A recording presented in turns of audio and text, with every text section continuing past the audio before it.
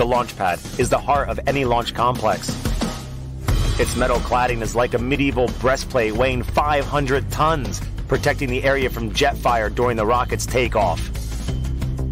None of the plates are fixed and have clearances. This ensures that during the moment of dynamic impact, the expanded metal does not deform. Under the plates, there are several layers of thermal insulation. The preservation of the launch pad during launch is provided by a direct gas duct with an exhaust gas deflector. During the launch, tons of water for cooling will be pumped there. The versatility of the launch facility allows the launch of light and heavy rockets without adjustment. In the context of military application, for example, when restoring the orbital satellite constellation, launches will be conducted continuously. That is why they are considering the construction of a second launch facility.